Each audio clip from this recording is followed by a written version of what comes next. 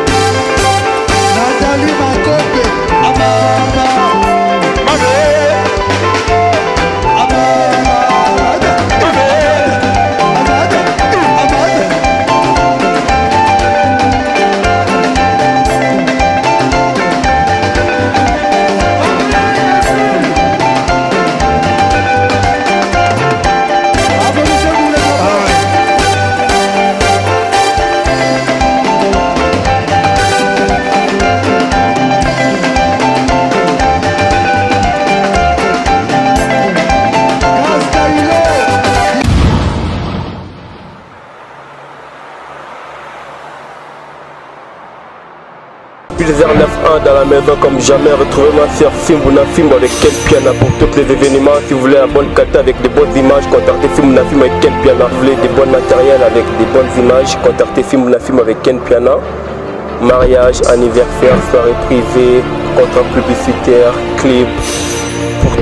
tout ce qui est caméraman, contactez Simbounafim Film avec quel piano. Et moi pour me retrouver c'est 091 9.1 sur tous les réseaux sociaux. Et sur euh, YouTube, c'est 091 9.1 pour retrouver tous mes clips et pour les rêves des réseaux sociaux, c'est Bill aussi.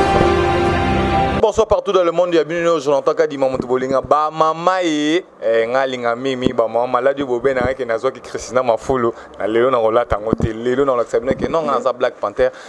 na kosepela na bino nde nasepelisaka bino toujours babi toujours mikolo nde jonathan kadima black panther mwana bamama na profite kopesa mare na ngai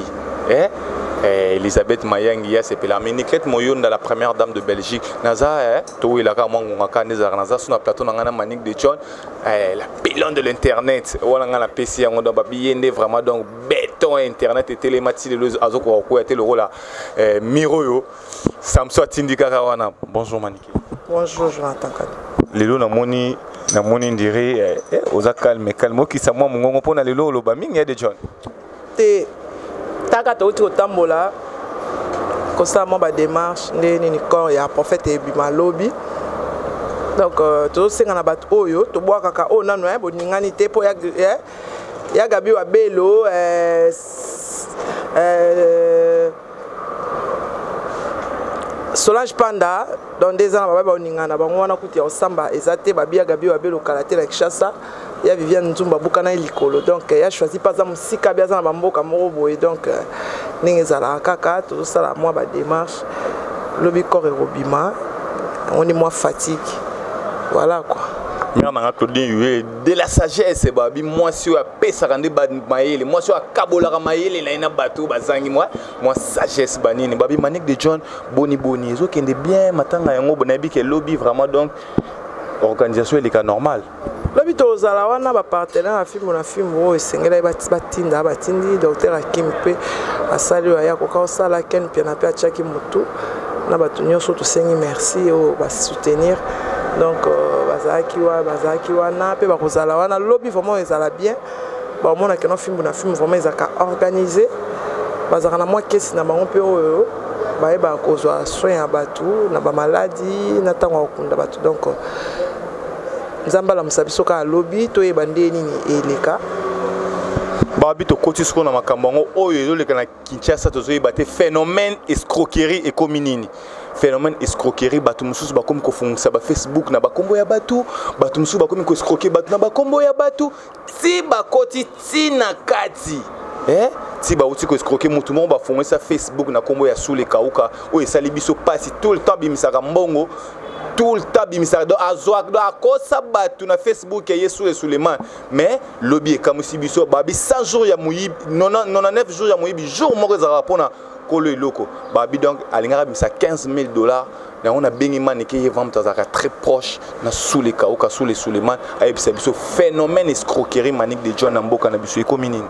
wana eza mpena donc wana eza escroquerie te eza d'abord mpe tricage soki oyo escroke escroke na nkombo na yo wana ezalaki nde kosalir nkombo ya motu mpo abandaki kosala yango na ndenge ke batika ye bakanga moto mosusu mpo azwi bambonga bato azwi bambonga bato bato bandaki ya koya kaka kose plaindre sule se defende bato baoya mai yo natindaki moto otinda ye moto moko ya kozwa mbongo epananga nga natinda ye moto omona ose defendre ose tia ye oloba te ifo nalukela moto oyo stratégie nini yango akangi yango batiaki ba ba monteur en marche bayeba nde nini bakoki eh, kokanga motu wana bakangaki ye bayebisaki ye babengi ye babi akozwa 15 000 dollars mai kotinda motu te yo moko yaka aye bakangi ye moko ye le faux soule donc euh, terrain ekomi nango sikoyo calme nde bakayempe ya le faux soule boyebake le faux soule akangami par le vrai soule moto akangi faux soule donc vrai soule akangi faux soule donc euh, mpo na kolakisa ke staff ya fali pupa bazalaka vraiment na babonne enquêteur bazalaka vraiment na bato oyo basalaka mosala ya malamu tala kaka ntango balaleli ye kusin bazwi ye kua mais ce ne pas bien na mokili il faut olukaka mbongo na motoki na oke oyo esikokaka bato olie na nkombo na yo bato ya bambata bazali bachabwaner bazali balobi eh, bangwaka bazali eh, bachoisi matata bamobali ya tembe donc vrai ngwaka kua bangwaka bazali ba feman bazali me basalaka makambo na ndenge na bango me yo ozwi ozolia na nkombo ya motu wana deja eza malamu te donc euh, bato basala mambo wana botika tala mosusu bakangaki aliaka na nkombo ya président ti elo amonana te place akende yebana te banda kofalsifie signature ya président ti lelo sikoyo kopesa conseil nini na bato ke amoni motu te mama ntango motu kaka abengi ye telema amoni kaka profile ya motu mbala moko azotinda mbala moko moconseil nini okoki kopesa bango mpona bakóma prudent to prudente na baoyo esalameli yo okopesa conseil banda escroquerie banda baescrokaka bato kaka donc eh, eza kaka phénomène moko ezala bizarre mpo ndenge bato balelaka bato mbongo baloba yango na bainternet bazoloba na batv molière azolakisa mais bato bazolia bango kaka mbongo seke misusu ezalaka travail mpe eh, batravaille motu batravaille bato voilà ezalaka mpe batravaille yo mpo obimisa mbongo ebele okwa ba 20 000 ba 30 000 fozala nayebi te ndeni basalelaka mamo mais babi banik de john hier tomonaki ke olobela ye no makambo ya matanga ya grosse moli mais si oassiste déjà to ozwi da temps ya komona ye te lelo nde nakozwa temps ya komona ye nakokende place azalaka soki azaka wana Parce que jusque là azoyamba téléphone te azosolola na réseaux sociaux te nazoyeba te pourquoi namekaki kotinda ye message lobi namonaki ya repondaki te epuis aza en ligne te sikoyo il faut koluka so euh, téléphone moto aoyamba eza ya na ye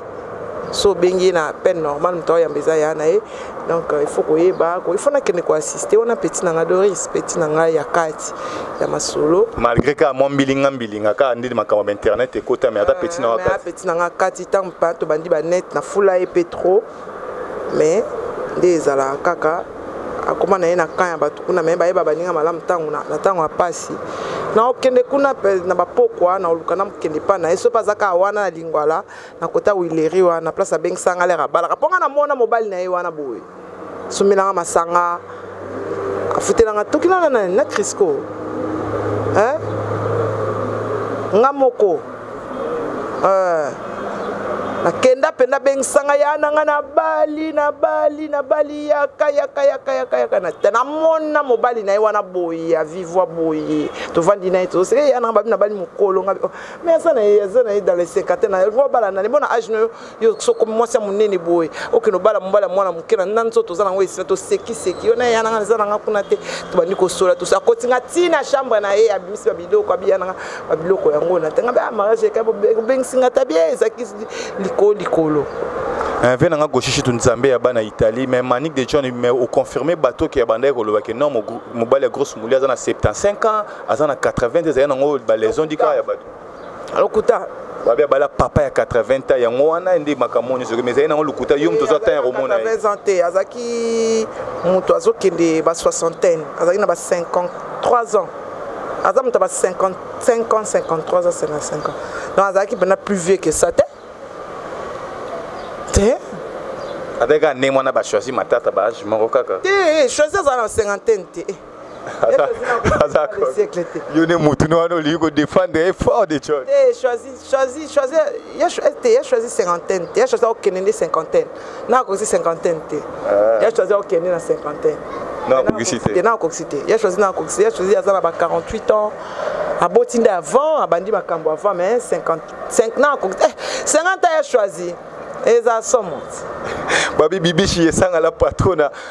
Eh, babi solange panda balobi kala mingi te ya gabi wa belu nga koya gabi te mama gabi wa belu eh, mare na nga bientôt ya kinshasa bani babi mare na nga niki potu mama na meliette eh, babi eh, bonne guérison bika vraiment na komona nga nga jonathan kadi mama baprière eza mwa mingi babi tozongi kaka na actualité kaka nde biso jonathan kadi maka babi filme na filme nde actualité na actualité balobi eh, manique de john touti komona mpasi moko esali ngai eh, ndeti biso bajonata kadima boye toza na bana na biso malgré age toza nanu mais aucun jour naleka na wanga na mwana nauti omona mosaka auti koleka alobi ke bla na mosaka azali mwana na ye te epuis mosaka wana bapesa ye na nkombo ya bale mwa te ke yo oluki problème na famille ya bato de john ngai mpe azokosa na ye bla na mosaka oza mwana ye te nde eni azwaka bla na nga kata ye motu te azwa bla na kata ye motu bla na mwana ye mwana na mwana ye soni nde moto esali ye bongo wana eza moto akwei na velo wana eza moto akolanda te eza soni ya moto akwei na velo yaya mwana moko denigraka lelo aza bien blana sikoyo aza bien yo moto okomisi ye bien bosute ngai nakomisi ye bete eza nzambe nzela na bola soutenir ye ba producteur bo soutenir aza na nzembo na ye moko na komona ngo mbeya mbeya abiye nde président ya bambeya mbeya non aza na nzembo na ye mbeya mbeya donc eh, nzembo wana nayoka nanga banzembo me mbeya mbeya fin bosoutenir ye boyedaka ye aza père de famille ana bana na ye aosala mosala ayibaka te azolia na sueur na ye c'est un enfant encouragé aboya ye aboya ye te bla na ye biomisombela fufu bla na ye bomisombela elamba asi aboyaka ye deja banda kala aboyi lelo te wana soni aboyaka ye banda kala mais aye mwa banda koconsidere mwana ye jonathan wana soni aboyaka ye deja irresponsabilité nde ezobeta ngonga irresponsabilité nde ezobeta ngonga wana soni ya parent oyo ya soni ya irresponsable ya mokolo ndenge wana oyela biso baveste bachemise kokumisa moninga na yo mutu me moto oyo obimisa na mokili otikala tokondima ye te eh? ozo comprendre eza soni abi mosaka wana mpe yinde ye abenga bla na mosaka mosaka wana eza ke kombo na ye bapese na, na bale ma aza na kombo na ye nga mpe naa na kombo na nga manikete me manik de john eyaki surno na nga john mpe yaki kombo ya papa na nga kaka ya bayakete ya staff na ye kaka kombo ya papa na nga ezalaki jean léonard nga mpe kombo na nga manik de john me mwana moko tobota kombo na ye ke nani de john oh kasi yango nalobi te ya biblia nazwi mosaka eza kaka nde monga mpe nazwa de john ya nde moko kaka irresponsabilité nde ezobeta ngonga irresponsabilité na ye ezobetele ngonga mwana oyo oso wangana banda kala ntango kuta banda ayeba akomisombela pantalon te bonso owangani ntango asala ebe misombela pantalon esalelo osusu te nyonso wana azoloba ko esasublana eh, eloko te mpo ntango ayebaka kutu komisombela eloko te ntango azonyokwama nanu owanganaka ye deja na minite oyo ayebi na kofutela mwana classe ah yaya nga kuso ye na oloba te manik de jona oyo toomona siko mpasi nini esalaki etake parent omonake mwana oyo oboti ozowanga na ye na miso ya bato epe oleki na mwana mosusu babi mwana wana kutu aza mwana ndeko na ye aleki ne na tv apresente vraimen bine non ke awangani vraimen eza soni eza soni eza soni azokende na butata mosaka wana konyokola blana makasi mpo blana osalisi ye makasi eloko apasi ka yango wana blanchard mosaka konyokola blana makasi blana osalisi ye makasi mpo blana ozwa mbongo mingi aoderange mpe blana makasi makasi mpo alobaka mingi eloko ya mpasi kaka yango wana toza awa miso na bino ekufa te matoi na bino ekufa te bokufa te bomona nde mosaka bando dérange blane wana yo moto olobi yango deja ah.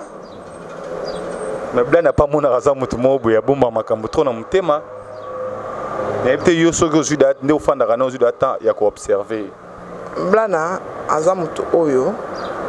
andima vie ndenge se presenta liboso na ye c'est un courageux so te ndasi akufa andima vie nde se presenta liboso na ye andimela yango bongo azokumbela yango bongo akuna matata esimbi c'est bon esimbi te mokolo wana alali alamuki lobi esimba c'est une attitude à suivre c'est une attitude à suivre ebongo ata ayebisi makambo na ye bato nani bazwele solution mpa ya nzambe mpo so ayebisi motu motu aosemoke na ye moninga malamu eza kaka nzambe obeta lisolo oloba te so ayebisi bato makambo na ye ozweli solution te vomi abomba yango kaka mpo basolution nyonso yeka ye mo moto azwaka ozomona okoloba na bato nini oyo baza ke so ayebi ke mwana wana aza ye mai azowangana ye azowangana meme mokili eyebi meme bato nyonso bayebi mpo ya de gens ya des gens que bazali basepelaka kaka mpo na bato wana nzambe apesaka bango liwa moko ya mpasi ya douleur makasi banyokama makasi makasi avant kufa akataka motema noki te wana eza punition nzambe apesaka bango eh, moto awangana moninga moto oyo obengi na mokili okomowanga na ye okufa otamoso ozopola ozokufa moto akosala liso ozala te ata bato basali so basala me nzambe akotika oyo kata mwa odule mpena omisubeli omisumbeli okisolo ya nie okisolo ya masuba nde mwana na ere mwa banda oyoka mpasi wana elo punition na bango ezalaka nde makasi elo mawa na bango kaka mpo bakufa bakataka motema noki te omwana mpe afamille eza me mokolo wana sa ata mosusu 3 jours nzambe abosanisi famille yo ovandi na hôpital yo moko ozomisumbela ozomisumbela esali nga mpasi makambo de john alobi don naomona ma de john aoloba vraiment ke azongi vraiment eh, na kibomama nyonso etake conseil nga mpe nakopesa bato bowanganaka oya blana te awangana ne mama na ye mpo blana na problème te problème eza entre ye na mama ya blana nde bango bato bakende olala babota ye blana awangana nde mwasi na ye oyo ye alalaki ayokai santima awanga na mama awanga na blada te blada ya nde mwana owanga nde owanga na ye te ye ane na te mo mama na awanga na ye nde mwasi na ye blada na rien avoir dedans osala vie na ye asakoli na ntango kuta mpasi elobi akelo te kasi sikoyo ayebi omisombela pantalon ayebi ofuta ndako ayebi osala malamu na ye ayaya ah, mais sikoyo yo moko nde oza boye telema batie eh, moyen en écart na famille mais yo moko sikoyo ndenge olobaki okumbela makambo yango okende naye kati na suka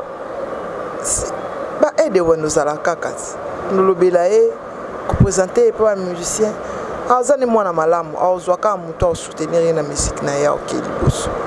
lokola vi na ye alingi musike la mélodie mélodie egangaka mélodie elobaka moko mélodie eloba mpo na ye esala bien aozala ne bien mawa kaka mpo mosaka otungise makasi yo ozobeta kasi to otungise bosa mpo na abanda olanda ye partout apresente déjà apresente déjà apresente déjà mwana mosusu bwangana ah, toza wa miso na mino ekufa te bopesa nga raison ah, batata boni bawangana bana tomona bango lelo mwana okunda avec one yango eloko ekomela ye pour tout trésor ah. voilà donc esalaka mpasi eh, na bato bawanganaka bana na bato bosundolaka bana un jour so mwana akomi motu yo ye kobima o oh, mwana na ngai o oh, mwana na ngai o oh, mwana na ngai me na ntango ya mpasi ozalaki te na ntango mwana abandaki komona makambo okuta akoki komona te na vi na ye mpo nafandaki na ye yo moko moto obengi ye obino ayaka na mokili aye na mokili okomi kosala makambo oyo kutu yaka na komona te na vie na ye donc eza mpasi mingi manik de john eloko ninga nalobi to oyo koobakisa eloko na koobakisa kaka en tout cas baexemple eza ebele bato ebele baoluka bana bazozwa te neti baclaudine luyeye azozwa savoir ne azopesa bana C'est une femme à féliciter. Aboti mwana kaka moko na vie na ye mais atangisaka bana ebele. Donc elakisaki na vie na ye moto asupportaka bana te amotema mabe. totala ya choisi parci par là bamaniki na lukaka mbongo mpo na bana tozotala elisabeth mayangi mama na morgan hmm? tozotala do bamama ya bana baza ebele tantine nganji eh, na paris wana mama mapasa naotala ya nanga mirai itunime mama mapasa solange panda mama na bana kamani kenake na ba adel jogo kutu koloba te ye namemaka convoi hmm? yango danger kokoloba te nathalie neima totala eh, ya nanga pauline lumumba hein? naotala ya gabi wa belo omona bana na anniversaire netala bana hein eh, ba ba Niki Poutou wana maman mabota bana kaka tota la jolie mayala aboti mwana moko mais mwana ne aboti bana asali ye famille hein voilà hein babi eh zanga mbongo mais zana bato zanga mbongo mais ezala na bato babi manique de chon babi molulu eza euh, première sortie ya prince babi oke concert na première sortie mpo esi abima ke première concert na ye oyo abeta ye moko eza le 19 okoloba na bafan nyonso oyo balandaka biso okoasire bango nini eloo na osenga kaka boya ebele yango tokomi mwa kimia ezali mpo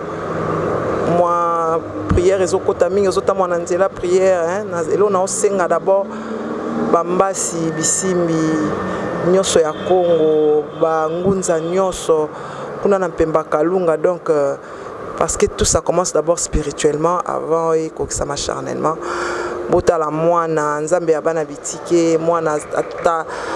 bana mosusu baokende classe mais azosala compte tenu mpo eza kozanga kaka baparent donc euh,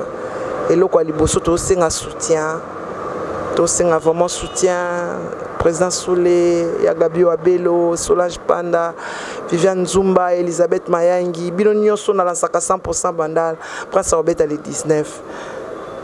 tosenga soutien spirituel soutien ya matériel soutien financier soutien ya moral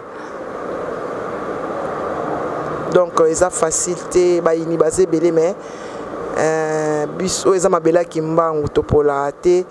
euh, et puis eza 2 dollars bandeko na bino baa na bavacance awa na beau rêve ozwi kaka transport okisi na victoire victoire osengi kasai kasai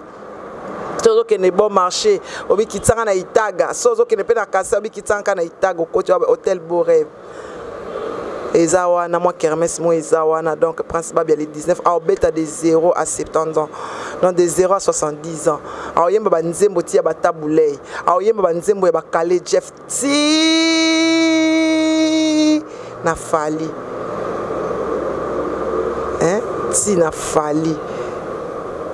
talaka soki prince azoi abandi koyemba nzembo ya congo tii na fali donc acoustique ya propre boya oyoka bato ya internet bozwa image bino moko bokote bosala cote ekozala wana tokozala wana biso nyonso le 19 hein? le 19 kaka jean na yo t-shirt na yo oh, babouche o oh, ketch o oh, jean kaka t-shirt obwaki kaka short na yo jean na yo ya coupe ya pantalon non swag kaka sac na yo oye ovandi bière na yo ovandi ozotala mpe musique acoustique mwana moko ya moke ya kitoko hein, azoyemba mpena ti ayembeli bino ti afro abandi na rumba ti na afrobeat donc euh, boya oyoka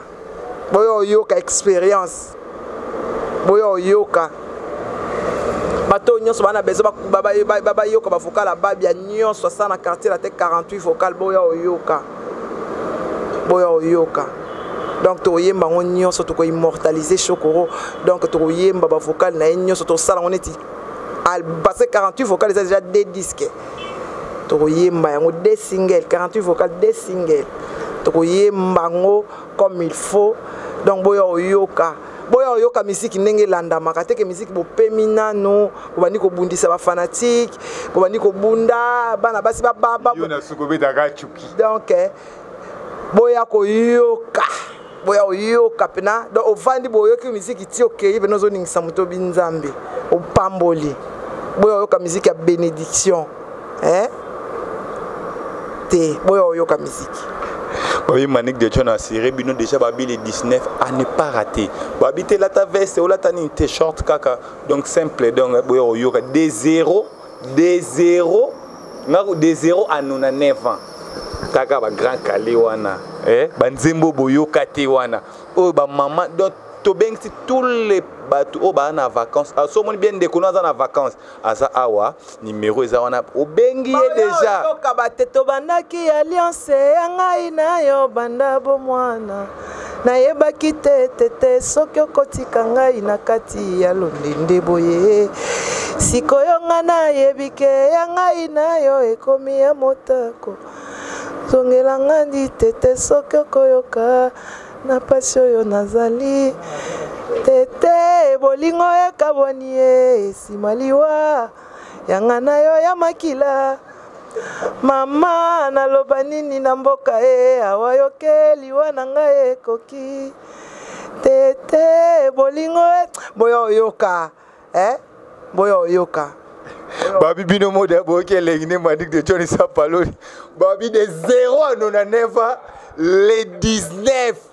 eh, eza kaka dimanche oyo oyo ndeko na ya na vacance eh, mpo na se defo yalonga bastress oyo azala nango na poto kuna aya le 19 akozala desi te tobengisi bato oyo nyonso balingaka biso bato balingaka koyoka bonne musique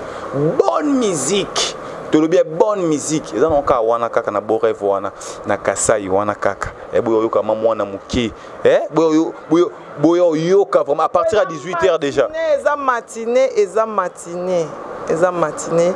donc na 18 heures 19 heures star na bino ya matinée na podium 23 heures tosisi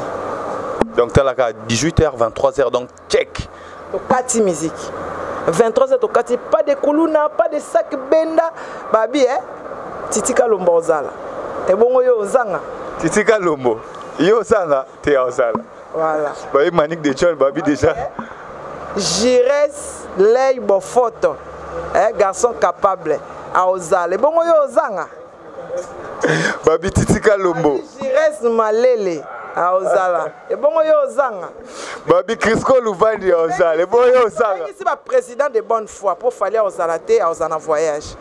tobengisi baprésident nyonso de bonne foi boya kotala mwana na bino nabengi manda chante surtout eh,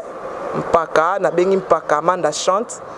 en tout cas nga mona okenda nji lilobi na oke oyebisa ye nabengi mpaka manda chante christo luvadi bobeta invitation mpo na manda chante sans invitation olingo ya te nkumu azalaka matata na nkumu manda ifo azala wana eh, kumu manda ifo azala wana mpo wana eza likambo mabele donc kumu manda ifo azala mpo eza likambo ya mwana njili mwana ya mwana njili azoyemba bana njili nyonso bana ntango tu boya oyoka mwana babia 2 dollars kaka 2 dollars na congo eza 2000 francs na boya oyoka nyonso boya oyoka carlito lasa eh boya oyoka carlito eh boya oyoka donc boya oyoka boyoka banzembo ya bien voilà babi boya oyoka donc bozala desi te babi tozochite déjà babi manique de john badédicace na bato oyo oyo basalaka ke manique de john azalanga déjà asi napesaka kaka na kati ya émission ntango naotanga ya gabi wabelo naotanga viviane zumba naotanga elisabeth mayangi naotanga nansi iwaka Solange Panda eh, balobi na otanga eh, Titi Kalombo donc aza wana donc euh, eye kutana na Kin na otanga bato ebele nalingaka mingi ba Flore na France wana eh, Flore nazwa ye biloko nazwa ye biloko oyebaki oza no kulisi mais ntango baoyoka Flore baoyeba te eh, bao yanga nyonso balinga nga na bao balinga nga te ya choisi matata eh, babi mokonzi ya bangwaka nyonso eh, balobi eh, ma grande prêtresse 100% bandal bandal world bandal caviar jolie mayala madame hein? babi world bandal caviar donc eh, bavacancier na bavacancière boya kotala mwana na bino eh? boya kotala mwana na bino donc esala bien babituka bwen dana manik de john manik de john abiboya bino nyonso ane pas raté ce dimanche vers 18h 23h pin check tokati déjà na profite mpo opesa bato balinga ngai mingi mbote napesi mare na ngai eh, claudine luyeye de la sagesse napesi fifika lombo mbote napesi niclette moyonda la première dame de belgique napesi ve na ngai dipepe nguisan le beau garçon de lone ve na ngai dipepe nguisan dimanche oyo ndula eza nayebi ke eh, yo oyebi kaka ve na ngai jean jacques dueme mobali alisi batatu ya Tracy Ekana mère na nga Elisabeth Mayangi Mambota ve na nga Goshi Shintu nzambe ya bana Italie nzambe ya bana Kaluka mère na nga Mireille Momene babe Christina Mafulu eh, la belle eh, Chris Bernada bato nyonso nalingaka oyo oh, mpe nabwaki te nabwakaka o oh, déjà eh, Joël Landu Chris Koluvani derrière la caméra donc babi 32 ans de pouvoir masali kaka 2 semaines je reste malele wande euh, landrine ndeza naosukisa na nani lelo le 19 à ne pas rater prince babia la voix qui recoule la voix du charme check